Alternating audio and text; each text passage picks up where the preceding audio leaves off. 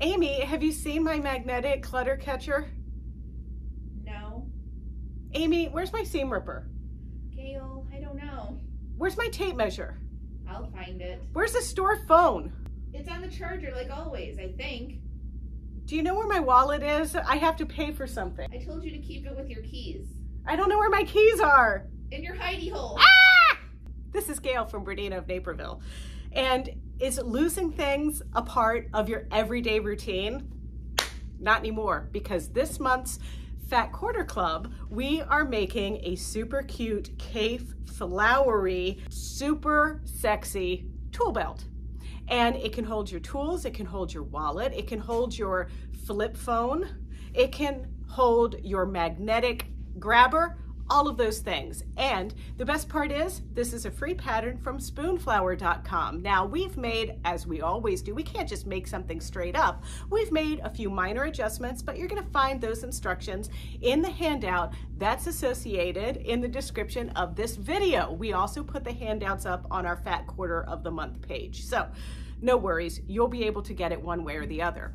So what we're gonna do first is just go through all of the things that you need to make this super cute thing, and then we're gonna stitch it up. Now there's minimum sewing skills required for this, but one of the things that I would like to point out to you is you are gonna want a quarter inch foot, you're gonna want an open toe foot, and you're gonna want an edge stitch foot. Now, for those of you that are very Berninified, that's gonna be a 37, 97, 37D, 97D for your patchworking, or it's gonna be a 20, a 20C or a 20D for your open toe sewing. And then finally for that edge stitching, it's gonna be a number 10, a number 10C or a number 10D. And of course, D means dual feed. We're also gonna be using needle positions because for my top stitching, I like to move my needle over just a little bit. So you're gonna see how to do that.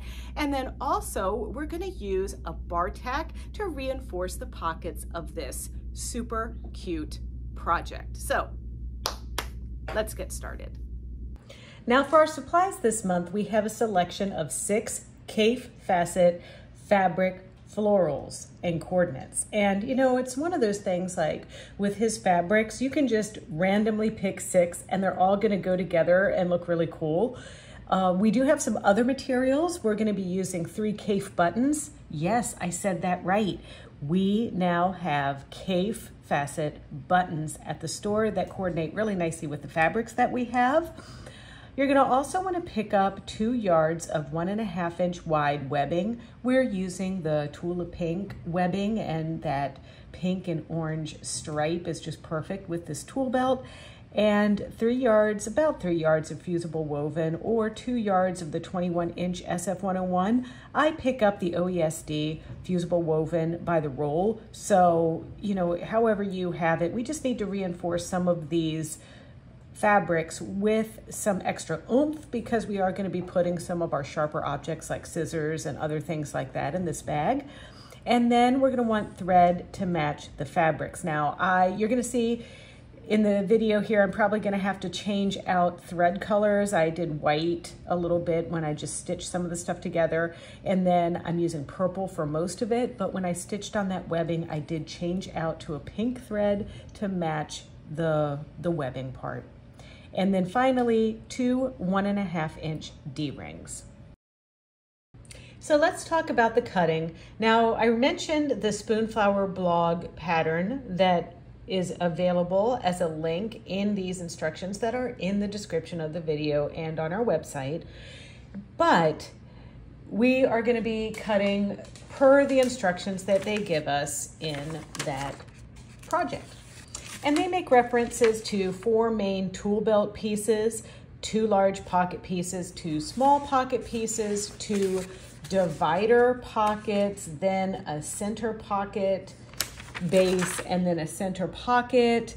So all of those things are going to need to have that SF101 on the back. I did cut all of the pieces for my tool belt from the fabric first then I cut the fusible woven separately and then ironed them onto the back. One thing that I want you to really give yourself the freedom to do is pick whatever fabric you want to go wherever on this pocket tool belt. I also don't want you to think too much about which fabrics go together with whatever fabrics. And I don't want you to have to think you have to make your pockets totally on the same side and everything that I did. You can have the freedom to do whatever, and you may even decide that you don't want dividers on your pockets or you want more dividers depending on what you want to put in this handy little apron style tool belt. There's one thing that we cut in addition to the spoonflower pattern, and that was this little strip that we need to sew our buttons onto, and we're gonna use that to clip a chatelaine that I made from a free project on Bernina.com. This was uh, something that we made out of kaffe. We embroidered it. It holds scissors, some other things, and it's just kind of laid around the shop without a home. So we decided that it would be really cute to put something on this belt where we could clip that little thing too. So if you're interested in that project, I have a link to it on the handout that's available in the description of this video. So probably the funnest part about this project is all the pressing that you get to do. And um, it starts with using a really handy tool called a hot hammer. It's made by Clover and they also make a hot ruler and a hot square. The hot, all of these little hot ruler type things could be used, but I keep my hot hammer handy to my iron and I'm gonna crank up the steam on my Laurastar. So there are all of the pockets we have to do a little bit of pressing on, but for the two large pockets and the center pocket, for the sides, you're gonna press those over half an inch. Then on the top of the pocket, you're gonna press over half an inch and then another half an inch. So that's kind of double folded there. And there are times when, you know, pressing something like this with that fusible woven on the back and everything, it can be a little bit stubborn. So in order to get this to lay flat and be easy to manage, I use my heavy clapper. I can't recommend these things enough. These clappers are great when you put that hot steam into the folded edge and then you leave that clapper into place to just kind of sit there and let that fabric cool off. It will leave a nice crease and a really um, easy thing for you to stitch. And then when you sew this, going over to your machine, the reason why I'm using that edge stitch foot number 10 is because it's got that little middle guide on it and I can line it right up to that folded edge move my needle position over a couple clicks, and just easily press these hems on these pockets down in place neatly and very professionally. And then there are these pocket divider pieces in the small pocket. You're gonna make these very similarly, except on the sides of those, you're gonna press those over three quarters of an inch on each side and then press that top of the pocket over a half an inch and then another half an inch and stitch with that edge stitch foot in exactly the same way. So this is the process in the, um, that differs a little bit from the spoonflower instructions, is that I did not press my bottoms up at this point. I left them unpressed up and the raw edge just there untreated for right now. You don't have to worry about it. So now that you've got your pocket tops done, it's time to do these top stitching lines to hold the pockets onto our large pocket. So you take the large pocket, the small pocket, and the pocket, divider pocket, or whatever you want to call it. I'm going to do one where I can fit a lot of stuff in there, and another one that I'm going to divide. But with these, we're just going to simply concentrate on doing the center pieces. So those edges over there on the right and left, we're only going to bar tack those. We're going to sew the top stitching down on those when we put it onto our base. But I'm using my guide, my edge stitch foot, and I'm lining it right down the middle of those pockets, but then I'm going to make sure that my needle position is still moved over so I can stitch these guys down with this perfect little top stitching seam. And also I'm just gonna go down this one side. This is the left side of the pocket divider piece. And then once I get to the end here, I'm gonna stop and I'm gonna pivot, do a few stitches to catch this other pocket next to it because these guys are butted right up next to each other. and then I'm gonna come back down the other way, sewing the right side of this small pocket. And then I'll secure my stitches at the end with a back tack. And then now I just want to switch my foot to my number 20 open toe foot in order to make this bar tack that's going to reinforce my edges. So I'm going to do a bar tack on both sides of the pocket tops. And this bar tack is really just like a little reinforcement stitch. You might see these on jeans or something like that. Anywhere you need to reinforce something so that if it gets pulled a lot, it's not going to fall apart. Now you have two of these pockets to make and one of them I opted not to do divided pockets, but on the second one I did divided pockets and I just took that piece and divided it into thirds. It's about an inch and an eighth away from each line. And I use the uh, water-soluble marking pen or a heat vanishing pen, whichever you prefer, and still with my open toe foot, I just followed those lines to make the pocket. And once again, after I made the lines, I did use the bar tack to reinforce the tops of these pockets. And then I do that there. And once the pocket is together and the flaps are tacked down, I'm gonna layer this onto my base. So before we do any work here, let's just inspect how our bases are made. So these are pretty easy. You're gonna take two of these 10 inch squares and they are layered right side together. And you can see when I picked out my fat quarters, I didn't even make them the same. I, I wanted to make them fun. And you're gonna layer them and just simply sew with a quarter of an inch and your quarter inch foot around three sides, pivoting at each corner. And then you're gonna take your other set Layer that right sides together, but mark two inches from the top and with a three inch gap. And that's gonna be an opening that's gonna be left for your hammer or your scissor holster. And I'm reinforcing those openings so they don't pull open when I turn this inside out. And just like any piece like this, after you stitch, you're gonna clip your corners and then you're going to turn it inside out with and use a poking device to poke those little corners out. I can use my talons, but um, I also like the Expert Point and Press tool from OESD. And then we're going to give these a good pressing. And there's our opening for our holster.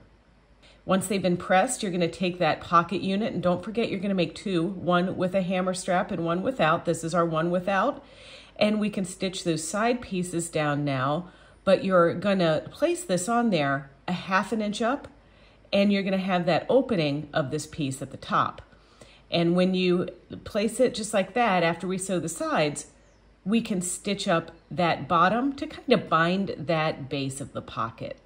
For the other pocket, the one that has the little hammer strap, we are going to make the hammer strap with that skinnier piece that we cut quarter of an inch, and we're gonna turn this inside out. And I use my tube turner from Sue O'Very Pruitt, and it's super easy from Sookie Sews to just turn that little baby.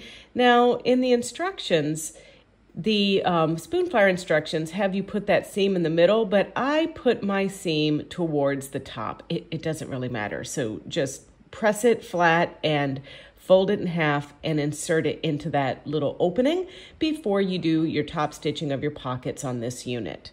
And don't forget about the center pocket. It's a smaller version of the pocket unit that we just made, but it's going together in the same fashion. I divided the pocket into quadrants just so I could have space for like USB sticks, chapstick, things like that.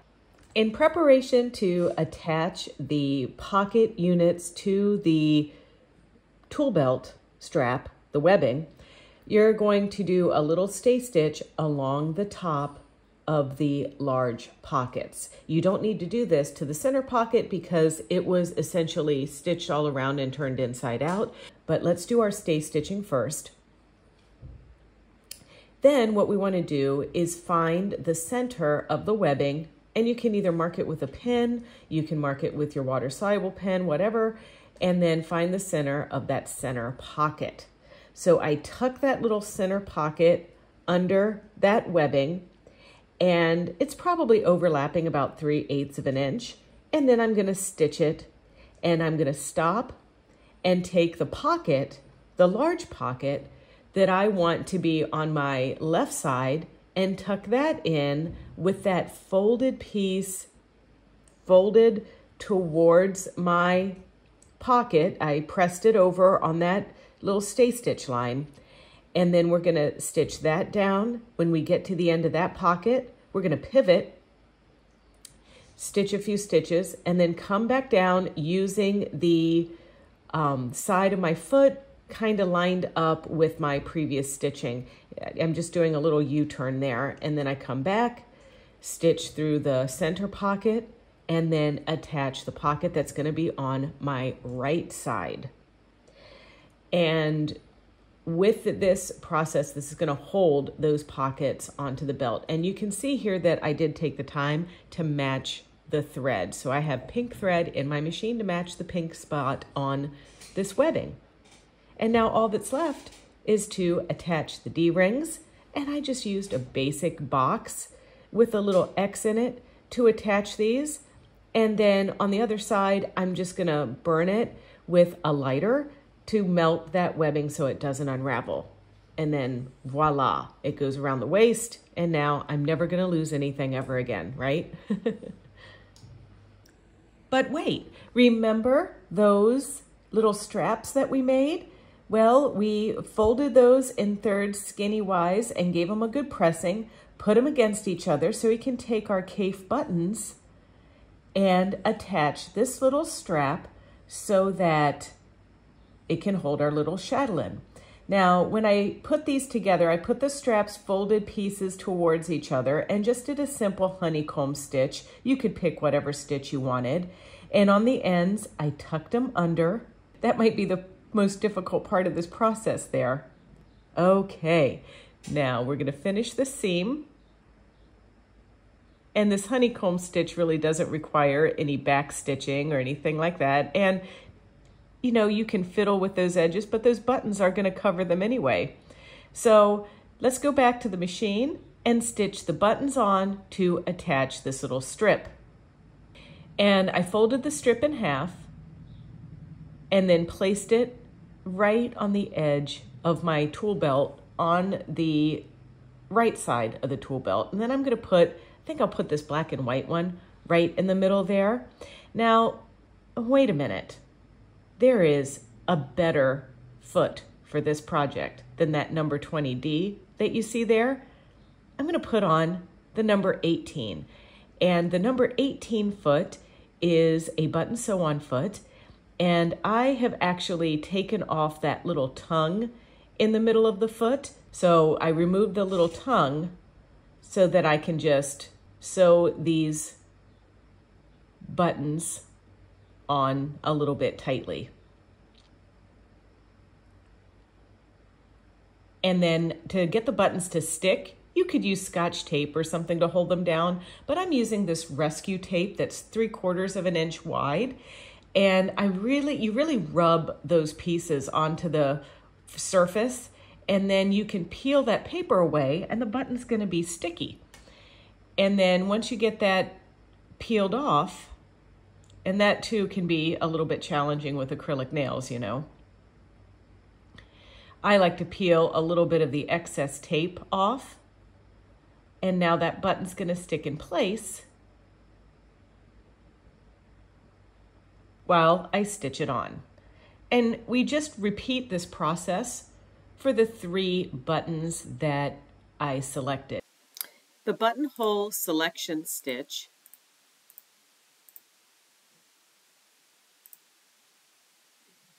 is in the buttonhole section and it's number 60. And you can see it right there. Um, you may want to drop your feed dogs so that it doesn't advance the fabric through and then always use the hand cradle or the hand wheel or the flywheel to move your needle down manually to make sure you're not going to break your button. And then once I'm sure that everything is clear and how it should be, I complete two cycles.